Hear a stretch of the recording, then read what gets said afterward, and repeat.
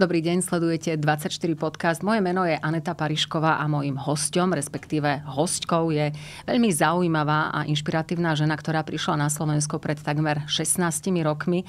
Priviedla ju sem láska, no a po anexii Krymu zas ona priviedla svojich rodičov a brata na Slovensko. S obrovským nasadením sa venuje pomoci Ukrajincom v oblasti školstva, vzdelávania, zdravotnej starostlivosti, podnikaní, práce. 16. marca oslavuje svoje narodeniny, ktoré však majú už 9 rokov trpkú príchuť, pretože sú spojené s anexiou Krymu. Mojím hostom je Ruska z Krymu, ktorá má ukrajinské a slovenské občianstvo. Aľona Kurotová. Ahoj Aľona, vítaj Ahoj. v 24 podcaste. Ďakujem tak ako to teda s tebou je? Si Ruska, Ukrajinka, Slovenka, ako? No dovol mi asi na začiatku povedať, že je to veľmi ťažká pre mňa téma a len tebe dôverujem a chcela by som to povedať, takže ďakujem, že si mi to umožnila tu v 24 podcast. A ako tieto 9 rokov som asi rozmýšľala, kto som. A, a e, nie je to jednoduché, keďže môj otec e, je Rus, alebo vždy tak tvrdil, alebo dejne to povedala si v rodine. Aj keď zaujímavé, že jeho mama bola grekyňa, ako, alebo učila ma po grecky napríklad. Hej, že ja si doteraz pamätám 1, 2, 3, 4, 5. Hej, takže aký bol Rus? No takýto. A moja mama a, prišla, a, teda ona sa narodila v Donecku, a, ale celá jej rodina a, bola zo Zaporožia. Takže keby kaza, kazačka, hej, kazáci, teda e, Zaporožská Sič, takže celá rodina sú takí naozajstní Ukrajinci, ktorí bránili územie teda Rusí a e, teda mala v sebe aj ten bojový duch. Hej. E, takže kto som, som sa narodila v Bachčisaraje a keď vnímam teraz, ako tak spätne som rozmýšľala, čo je Krím a čo je Bachčisaraj. Bachčisaraj možno nikto nevie, že čo to je za mesto, ale pravdou je, že tá, ten krymský chanát, ktorý e, e, viac menej zahrňal územie Krímu aj celej južnej, južnej časti Ukrajiny, do tej zaporožskej Siči akorát, a, tak to bol štát, e, ktorý mal veľkú sílu a práve to hlavné mesto sa nachádzalo v Bachčisaraje. A ten môj dom, rodičovský, ktorý mám, vo, ako sníva sa mi o tom, ako mám to vo sne skoro každý týždeň. Hej, on bol alebo je presne pred tým chanským palácom. A teraz e, počas anexie na ten dom dali takú tabulu Rusy. Ej, že ten dom e, v rokoch 1774 až 1777, vtedy, keď akurát Krím e, zobrali Rusy, poviem to tak, a to bolo miesto, ten môj dom, to, to bolo miesto kontroly chanov, ktorí ešte teda bývali v tom chanskom paláci ja som Ruska alebo som Ukrajinka. Teraz, keď vidím, že ako sa vyvíjajú aj tieto táto situácia, som viac Ukrajinka a som hrdá na to, že mám tú ukrajinskú krv v sebe. A som veľmi smutná. Toto je smutok, že som aj Ruska v tom, že zničili alebo znemožnili mm, vývoj toho štátu, ktoré, ktorý pre mňa je tiež môj štát, myslím teraz Putina, ako mohol urobiť toto, čo spravil 140 miliónom ľudí, ktorí, e, ktorí možno majú podobné hodnoty ako ja a ako my. A je to bratský národ. Vrátim sa ešte na Krym. E, ty si z mesta Bachči Saraj. Už ani to samo o sebe mi neznie rusky. Odkiaľ, je, odkiaľ sa berie takýto názov? Aké obyvateľstvo vlastne v tomto konkrétnom meste krímskom, z ktorého ty pochádzaš, odkiaľ vlastne sa berie tento názov? No, keď vieme, že Krím bol antický, takže bývali tam aj Gréci, ako moja babka, aj Rímania, potom to bola Osmanská ríša, a teda moje mesto, viac menej obyvateľia hlavní boli Tatári a keď teda po druhej svetovej vojne teda ich vysedlil Stalin, tak zaujímavé, že ten môj dom napríklad postavili Tatári. A keď som ja šla do školy, tak oni sa vrácali, akorát to boli 90. roky. A môžem ti povedať, že celá ulica ako bola plná Tatárov alebo obyvateľov, ktorí sa vrátili.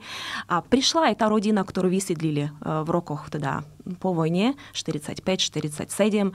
A oni prišli normálne do dvora, k nám domov a povedali, že bola taká stará, ja si pamätám, že stará taká babuška a povedala, že áno, to môj otec postavil ten dom, opravoval a teraz tu bývate vy. Rusy. Hej? Ale bolo to také, že ja som nechápala, ako to je možné, že ich dom, veď ja som sa tu narodila, ako to je možné. A ako ako to zvládneme v tých 90 rokoch, ale môžem ti povedať, že zvládli sme to. Tatári, Rusi, Ukrajinci, To som sa chcela dolo... spýtať, že kto vlastne tam každý žil a ako ste vlastne spolu fungovali? Bez problémov? Uh, uh, s problémami, ale myslím si, že mali sme svoj názor každý, každý mal svoj nejaký názor, sme ten názor zdieľali, počúvali sme pesničky tatárske, aj ruské, aj ukrajinské. A e, ten Bachči Saraj, ako keď sa vrátim tomu názvu, to je mesto, Saraj, sad, že záhrada. Takže je to také krásne mesto, kde sme trávili veľmi veľa spoločného času vonku s tým, že sme sa cítili ako internacionálna rodina, tak poviem. Mm-hmm. Takže bolo to dobre podľa mňa. Čo ťa vlastne stále spája s Krymom? Máš tam rodinu, ja už som spomínala hneď v úvode, že v zápetí, keď došlo k anexii Krymu, tak si sem premiestnila rodičov aj brata. Prečo si to urobila vôbec? Cítila som to ako nebezpečenstvo pro moju rodinu, a, takže ja som hneď to riešila a práve na tie moje narodeniny bol stanovený dátum referenda 16. marca teda bol pred 9 rokmi a ja som to vnímala, že treba zachráňovať rodinu. Brata aj, teda aj synovca som tam mala, takže som veľmi rýchlo tieto všetky veci riešila okrem mojej sestry, ktorú som nepresťahovala, ktorá bohužiaľ zostala na Kríme, keďže má osobitné potreby, ako ona sa narodila s detskou mozhovou brnou a už bola v takom centre pre takýchto ľudí. Takže som ju tam nechala, ale rýchlo sa pre, som presťahovala teda rodičov a aj brata. A pozerala som sa, alebo nevedela som, že čo bude, ale myslela som si, že niečo bude. A môžem ti povedať, že bola som sklamaná, že nič som nepocítila, že niečo bolo. Ako keby nič sa nedialo. Ako, mala som taký pocit, že uh, ako keby nechali nás tak. No, myslím, Krím. Bol už to v tom 2014 pre teba začiatok vojny? Áno. Ja teraz uh, to na rovinu všetkým poviem, že keď hovoria, že rok trvá vojna, že a nezabudli ste, že 9 rokov, že nezabudli ste, kedy začalo, že v roku 2014 sa to začalo.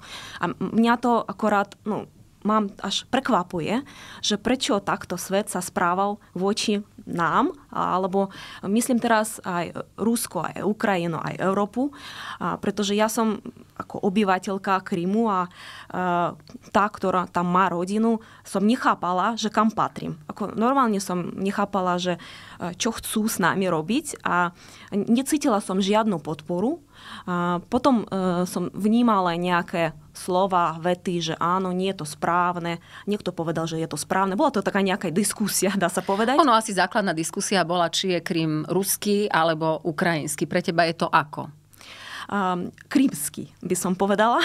A teraz viac ukrajinský, keďže Ukrajina ukázala naozaj, ako na príklade ukázala, že je to, uh, je to um, lokalita alebo územie, ktoré patrí Ukrajine ale e, to asi trvalo nejakú dobu, ale a myslím si, že bolo to potrebné, e, aby sme toto povedali alebo spravili niečo ešte v roku 14-15. Možno by to nevyzeralo tak, ako ako to je teraz, že roz, e, rozsáhla vojna na celom území Ukrajiny.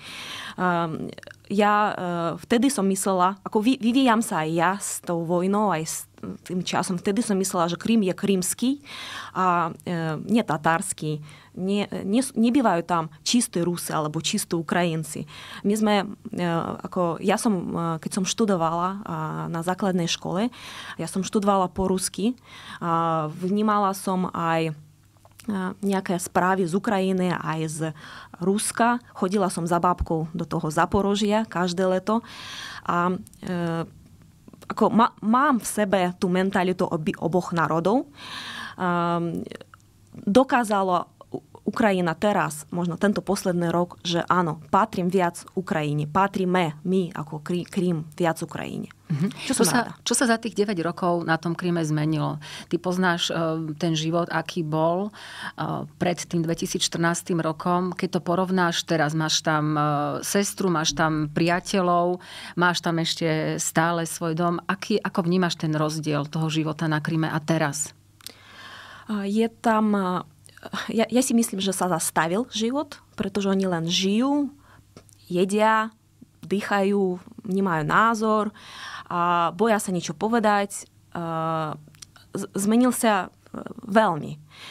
Keď si pamätám seba, teda počas školy, ako som začala, že my sme sa rozprávali, mali sme názory, chodili sme von, Teraz e, je to skôr, že aj keď e, volám svojim kamarátom, s ktorým som vyrastala, alebo svojej sestre, ktorá je v tom zariadení, alebo svojej krsnej, ktorá sa stará o ten dom, tak ten, ten rozhovor je taký, ako sa máš, že ja, ja ako keby sa snažím sa opýtať, že ako sa naozaj máš a oni mi s obávou odpovedajú a to je je to veľmi bolist, bolistivé ako pre mňa. Ja, ja ich chcem, je to môj štát, moja, moja vlast ako keby a nemôžem sa s nimi, s tými najbližšími rozprávať. Normálne, obyčajne rozprávať.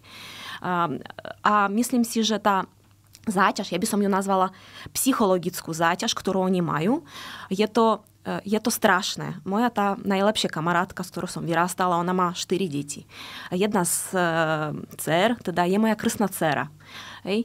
A keď som sa rozprávala, že o budúcnosti, e, ona tam má teraz 13 rokov, že kam pôjde, kam pôjde študovať, alebo e, mala som pocit, že ne, ako nemajú budúcnosť, nevedia, e, neplánujú, nemajú ciele, e, pretože nevedia, že e, či môžu vycestovať niekde do zahraničia. To som sa práve chcela opýtať. Tie obmedzenia sú asi v tejto chvíli veľké. Ty asi nemôžeš ísť tam a oni nemôžu prísť sem? Presne. Že tá moja krsná dcera nebola ani raz tu, pretože sa narodila v roku 2008, teda v roku 2014 mala len 6 rokov a teraz celé toto obdobie krásne, kedy by sme si mohli mm, byť blízky ako krstná mama, krstná dcera. My sme mm, sa vlastne vôbec nevideli. Vôbec nevideli. Ja nemôžem ísť tam, pretože pomáham Ukrajine a ona nemôže prísť sem, pretože má ten krímsky ruský pás, čo je e,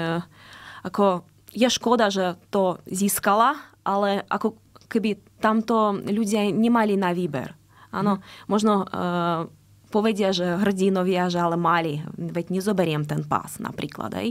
Ale keď tam e, je celá rodina a ona nikde inde nemá rodinu, aj to tam býva babka, detko, mama, dom. Ako, ako môže to odmietnúť, aj keď aj je Ruska, je naozaj Ruska.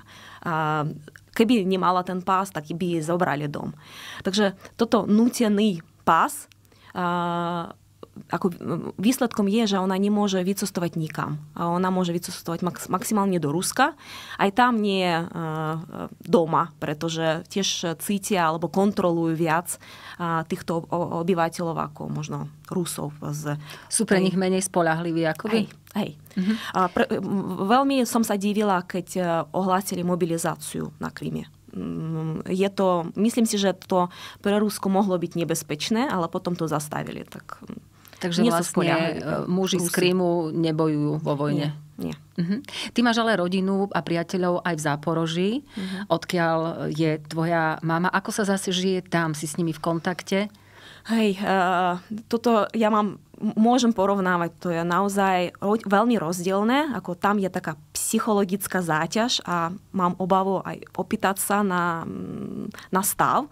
A v Zaporoží to je úplne, že uvoľnenie, ne, že môžeme sa rozprávať, e, povedia názor, poplačeme si, zasmejeme si, si ako toto je toto je dôležité, ale tie podmienky, ktoré majú, oni sa odsťahovali z Gulejpolia, teda to je mesto v Zaporožskej oblasti, do Dnepropetrovskej oblasti, čo je tá najbližšia. Bývajú v byte asi desiati, ako všetci spolu. Mám tam sesternicu napríklad, ako to isté dievča, 12-ročné, to je tak zaujímavé, že ona nechodí do školy už tretí rok, pretože online výučbu má posledný mm-hmm. rok, pretože tam do školy sa nechodí v Dnipropetrovskej oblasti. Dva roky predtým bol COVID, takže 12-ročné dieťa nenavštevovala školu, ale e, môže ako ísť von porozprávať sa s kamarátmi, ale nie je to až také bezpečné, pretože môže hoci kedy spádnuť na hlavu tá bomba. Hej? Takže, ale tá vnútorná sloboda je tam presne. väčšia ako pri tvojej rodine, ktorá žije a priateľov, ktorí žijú na Kryme, keď to presne, porovnáš? Presne, ten rozhovor je úplne iný. Ne, nevieš si predstaviť, že keď som sa bavila s touto 12-ročnou sestrnicou alebo krsnou dcerou, že aké to bolo. Že uh, cítiš to, uh, ako keď zastavuje slovo, premýšľa nad tými slovami, čo mi povie. Čo môže dieťa, a čo nemôže. Áno, mm-hmm. dieťa. Tak čo môžeme povedať o tých dospelých, ktorí rozmýšľajú možno viac? Ty si študovala aj v Petrohrade, tam mm-hmm. si chodila na vysokú školu, máš tam priateľov a takisto myslím, že máš aj rodinu v Rusku. Ako vyzerá komunikácia s nimi? No chcela som povedať, že ten Petrohrad prišiel so mnou do Bachčisaraju. To ako tiež také zaujímavé, že príjmačky boli v Bachčisaraje. Áno, takže som cestovala potom na, vysokú školu a, do Petrohradu a som bola veľmi nadšená, že čo som videla, velikánske mesto, a, veľa možností, inteligentní ľudia, ktorí si navzájom pomáhajú. Ja som ako študentka, ktorá nemala hneď všetko, som cítila tú podporu od obyvateľstva, slúšnosť v obchodoch a, a tak ďalej. A mám tam vytvorené väzby kamarátov, veď sme si navzájom pomáhali ako aj všetkým možným. Mám rodinu aj v Moskve a snažím sa ten, ten kontakt uchovať, ale tiež to takisto vyzerá ako s tým Krymom, že nehovoríme si už tak, ako nevieme si povedať... Je cítiť napätie v tej napätie. komunikácii s vami? Hej. Cítiť, že sú tie názory odlišné a že naozaj tá Putinová propaganda robí svoje? Cítiš to aj na tých svojich priateľoch a na rodine? Hej, aj keď e, mám, alebo komunikujem len s tými, ktorí mi jasne povedali, že vojna je zlé, zlo, ale e, v nejakých iných názoroch sa už nestotožňujeme a snažíme sa ako keby obísť túto tému a potom ten rozhovor nie je rozhovor, to už je také nejaké klamstvo navzájom. Takže e, aj, aj chcem povedať alebo vysvetliť, že ako to je tu v Európe, ako to vidíme tu v Európe, alebo čo som zažila na Ukrajine, keď som cestovala, keď som bola uh, v Užgorode, ako som bola v školách, ako v ukrytoch, kde deti učia sa. A všetko toto ako keby sa snažia aj moji známi, ktorí už niekedy rozmýšľam, že tu sú moje kamaráti známi, alebo sa niečo zmenilo, ako toto napätie vnútorné ma bolí. Hej. A, aj tak myslím si, že oni sa snažia vysvetliť a, to zlo nejakým spôsobom pre seba, že on je Rus, on je Rus, ako narodil sa v Rusku, ako býva v Rusku a teraz vojna je zlo, áno, ale a snaží sa ten človek nájsť prečo, nejaký dôvod, nevie ten dôvod nájsť a začína byť ako keby mať v sebe tiež takú nejakú zlosť a potom prestane komunikovať. Ako teraz mám mhm. takéto pocity a e, je mi veľ, veľmi ľúto, že takto, tá, táto situácia je, ale neprestávam dúfať, že to sa zmení o nejaký čas a stále trvám na tom, aby sme sa rozprávali. Ako snažili sme sa nejako si vysvetliť. Ty sa rozprávaš na Slovensku nielen s Ukrajincami, ale aj s Rusmi, s Bielorusmi. Ja som na začiatku hovorila, že si veľmi, veľmi aktívna, čo sa týka oblasti školstva, vzdelávania. Vydávaš učebnice pre ukrajinské, ale aj rúske či bieloruské deti. A si zakladateľkou Medzinárodnej asociácie lekárov na Slovensku. To znamená, snažíš sa aj pomôcť dostať sem zahraničných lekárov, ktorí by teda nášmu zdravotníctvu veľmi pomohli. Máš jazykovú školu, takže aj mm. jazykovo pomáhaš, e, vyučuješ Ukrajincov, Rusov, učíš ich e, slovenčinu, aby sa tu dokázali uplatniť, pomáhaš im začať si s podnikaním, hľadať prácu, je toho naozaj veľa. Pomáhaš aj Ukrajincom, pomáhaš aj Rusom, Bielorusom. Je v tom nejaký rozdiel pri tých požiadavkách o tom, pri tom, ako im je možné pomôcť a čo oni vlastne chcú? Je. V čom? A, ako keď e, lekárov spomeniem, a ja teda som zakladajúci člen tej organizácie a, a ako asi väčšinou teraz e, sa snažím integrovať tých lekárov prichádzajúcich z Ruska. Ako veď vieme, že keď e, inteligencia nie je stotožnená s nejakým názorom v štáte, tak odchádza. To teraz sa deje v Rusku a myslím si, že ako musíme, mali by sme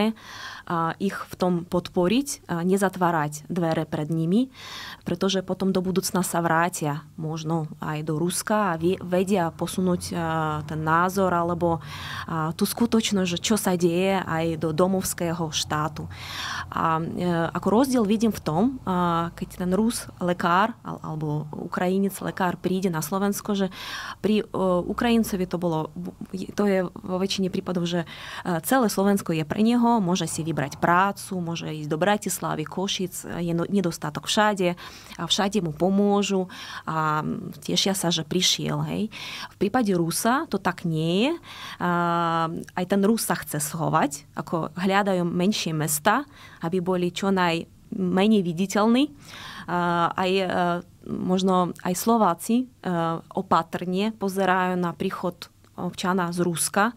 A, takže keď aj príde do práce, tak už e, sa pýtajú alebo zistujú, že aké má názory, aby to náhodou nebol špion napríklad. E, ja sa snažím, keď e, príde taký lekár, tak sa s ním porozprávať aj vysvetľujem, že stav na Slovensku, aký je mainstream, alebo čo si myslia e, Slováci, s tým, že aby možno aj popozeral e, správy z opačnej strany, pretože on v tom žil roky, ten lekár. A, e, ako, a môžem povedať, že a, sú stretoví, chcú sa naučiť, snažia sa e, integrovať do spoločnosti a sú takí, že e, zničení.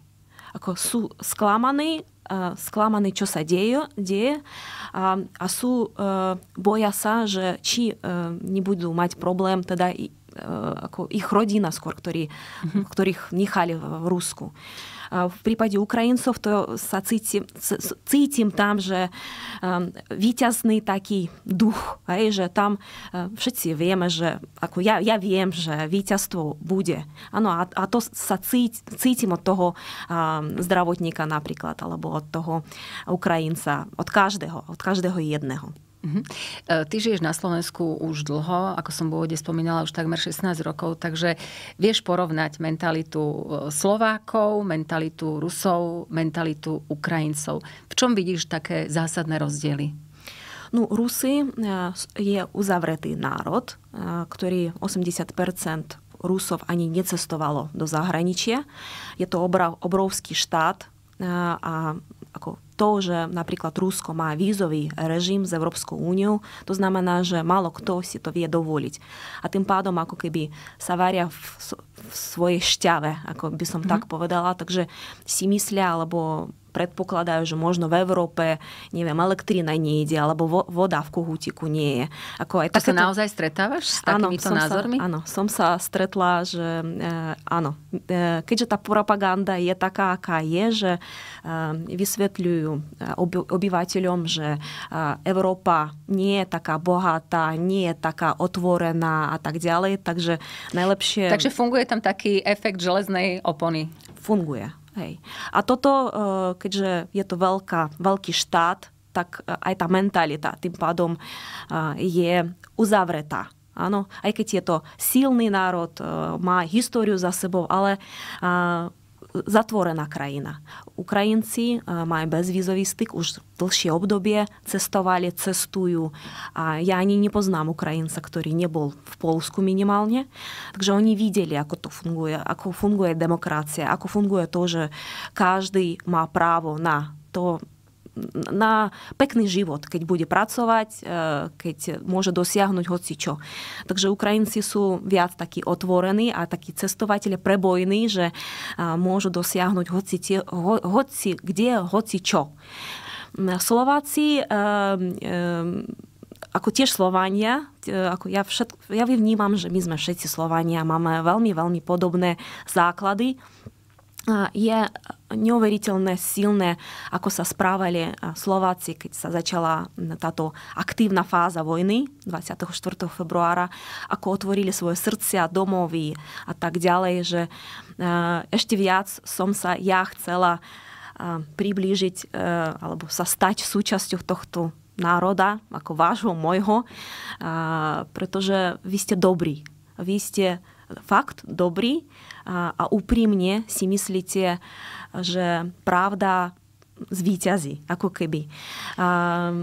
Niekedy som si myslela, že máte obavu niečo povedať, alebo ma, Slováci majú obavu niečo povedať nahlas, alebo keďže boli vždy pod niekým. A teraz som si zmenila názov. Myslím si, že Slováci majú v sebe dosť veľkú sílu odhodlania a lásku k bližne, bliž, bližnému. To znie veľmi dobre, ale napriek tomu oproti okolitým krajinám práve žiaľ Slovensko patrí medzi krajiny, ktoré podporujú Putina v tomto konflikte, Hej. v tejto vojne medzi Ruskom a Ukrajinou. Mm-hmm. To asi trošku narúša ten tvoj pohľad. Ja, ja, ja som, keď som to videla, čítala, som nad tým premyšľala, že som tomu neverila, ako keby vnútorne som tomu neverila. Potom som sa stretla s pár ľuďmi, ktorí som pochopila, aký majú názor, že ten podobný mm-hmm. ako v tých prieskumoch. A e, bolo pre mňa zaujímavé, že prečo taký názor majú. Ako, chcela som sa opýtať ich, že prečo. A názor bol taký nejaký, že áno, vojnu nepodporujeme, a je to zlé, čo sa deje, čo robí robí teraz Putin, ale na výber ako keby nemal. Nie je to také čierno-biele aj v ich hlavách, preto si myslím, že tiež potrebujú možno nejaký čas, ako som potrebovala aj ja, aby pochopili, kde je pravda. Ale nestretávaš sa s vyslovene nenávistnými prejavmi? Máš navyše deti 8-ročné, mm-hmm. 9-ročné. Ako to oni majú v škole? V škole hovoria, že sú Rusi, Ukrajinci alebo Krimčania? Ako to mm-hmm. majú? No presne toto, áno. Hovoria, že sú e, Krimčania, e, pretože aj v školách, aj na školách e, majú deti také rozhovory, že keď niekto, aj dieťa je z Ruska, tak môj, môj syn má kamaráta, teda aj najbližšieho kamaráta z Bieloruska. Viem, že a deti sú takí, že oni sú úprimní a má to ťažké, ten Rus alebo Bielorus v tej škole. Moje deti sa mi našli a vždy na túto otázku odpovedia, že sú krimčania. Ty spolupracuješ ale aj s Ukrajincami, aj Rusmi. Aké sú vlastne v zahraničí vzťahy, napríklad na Slovensku? Ako ako to ty vnímaš medzi Ukrajincami a Rusami? Je to komplikovaný vzťah. Nie každý Ukrajinec teda vie teraz komunikovať s Rusom, keďže ten zásah je obrovský. Zabíjali ako je tam veľmi veľký hnev u veľkého počtu teda tých Ukrajincov. Ja komunikujem aj s Ukrajincami, ktorí prišli z Charkova alebo z tej východnej časti Ukrajiny a tam je to miernejšie, ako keby, aj keď zničené sú domy, veď tam je to najhoršie ako stav. Ale aj tak tá komunikácia viazne. Mm-hmm. Asi to, že som z Krymu, mi umožňuje to, že som som ako taký keby, mediátor? Mediátor. Cítim sa niekedy ako taký diplomat, aj keď chápem, úplne rozumiem tým Ukrajincom, že nemôžu teraz prijať fakt, že tu prišiel nejaký Rus, ktorý utiekol možno z Ruska, a, ale on je Rus a ten hnev je, on je ešte čerstvý, preto myslím si, že len potrebujú čas. Ale som uh, mierotvorec. Ako ja, ja chápem uh, obe strany, a, ale uh, keď budeme mať tú, tú zlosť stále, to budeme roky bojovať. a to by som nebola rada, keďže mám deti, máme všetci deti, aby naše deti, keď pôjdu na vysokú, ešte tú vojnu sledovali v televízii. To Pre mnohých ale byť mierotvorcom znamená vzdať sa Putinovi. Tak... No, nie, nie, nie. Toto to... určite nie. To, Ako to máš ty? Eh, vzdať sa nie. Teraz treba bojovať. Eh, teraz to také obdobie. Eh, ja skôr vnímam, že do budúcna to, ten, to, to bude, že budeme sa rozprávať, vymýšľať, akým spôsobom. Ale teraz treba to dokončiť. Treba aj ten Krím. Určite tá vojna skončí na Kríme a um, teraz treba ďalej pokračovať v tom, čo sa ja sa ešte vrátim k tomu, už 24. februára minulého roku sa začala intenzívna fáza vojny. Ono vlastne aj sa to určite tie potreby a požiadavky zo strany Ukrajincov sa určite v priebehu toho roka uh, zmenili. Uh-huh. Ako to vnímáš ty? Všetci sa na teba obracajú s rôznymi požiadavkami. Zmenilo sa to nejako výrazne? Áno, na začiatku to bolo o humanitárnej pomoci, o jedle, ubytovaní, takéto základné potreby, ktoré sme riešili a aj riešili aj Ukrajinci, ktorí prichádzali bez ničoho. A toto si myslím, že bolo také obdobie do mája asi, že také, že len sme umiestňovali, ubytovávali, krmili, obliekali ľudí ale zmenilo sa to v lete. Myslím si, že už začali si uvedomovať matky s deťmi, že veď bude škola o chvíľu. Aj tá mentálna časť, alebo tá príprava jazyková, to som užívala som si, že leto tak, že deti, matky sa učili po slovensky. A teda 10 tisíc detí teda sme dostali do škôl na Slovensku, čo som veľmi rada, pretože to je ich prirodzené prostredie kde sa cítia dobre a, a kde to hľadisko psych, psychické, že vedia to vydržať, myslím tie deti, že učia sa v škole, mama je v robote a samozrejme, že nejakým spôsobom to sa dá zvládnuť, aj keď otec bojuje. Myslím si, že v septembri, v oktobri, novembri som pocitila ten, ten už aktívny prístup Ukraji, Ukrajiniek alebo Ukrajincov už viac chcú pracovať alebo podnikať. Relokujú biz, biznis, ako napríklad výrobné podniky z východu Ukrajiny prichádzajú na naše územie alebo sa snažia aj importovať alebo exportovať tovary, že normálne to ako keby prišlo aj do tej ekonomické roviny teraz. Mm-hmm. A ja vnímam to ako dobrú vec, pretože musíme aj ekonomicky to zvládnuť. Aj Ukrajinci majú mať mzdy a môž, mali by zabezpečovať svoje rodiny, ktoré sú na Ukrajine. A keď Slovensko otvorí aj túto možnosť, aby tu podnikali a podporí ich v tom, aj naše HDP porastie, ale aj je to pomoc Ukrajine tiež. Ako nemôžeme, ako nemôžeme dovoliť, aby zbankrotovali podniky na Ukrajine.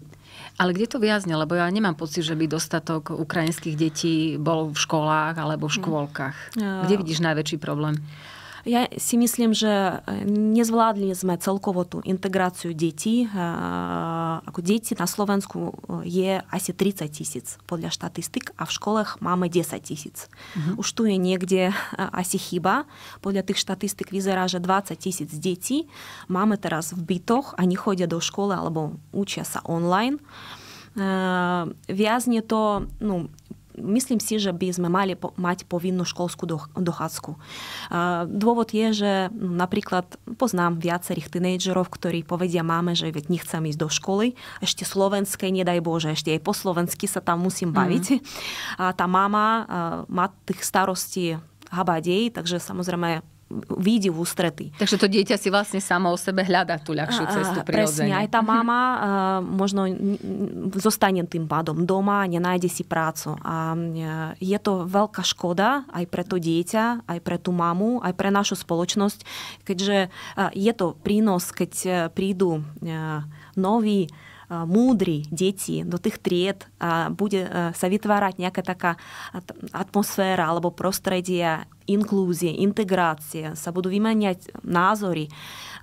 Myslím si, že mali by sme tú povinnú školskú dochádzku mať, teda od septembra a tým pádom by sme umožnili prácu tým matkám, aby, aby mohli podnikať alebo pracovať, ale aj deti určite musia byť v škole, ako fyzicky v škole. Mm-hmm. Nemôžu strácať ďalší rok, nemôžu strátiť ten ďalší rok.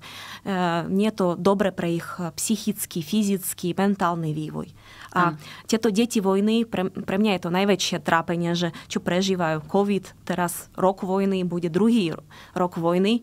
A aj keď sa skončí, verím, že to tak aj bude čo najskôr, nemôžu už e, vrátiť do Charkova, poznám takéto rodiny, že nestojí ten dom. Už nie je tá budova. Že sa nemajú kam vrátiť. Nemajú kam sa vrátiť. Takže mali by sme e, vnímať ich ako niekoho, ktorí sú tu a potrebujeme ich dostať do školy, aby uh, oni sa cítili dobre a my s nimi, aby sme sa navzájom podporovali.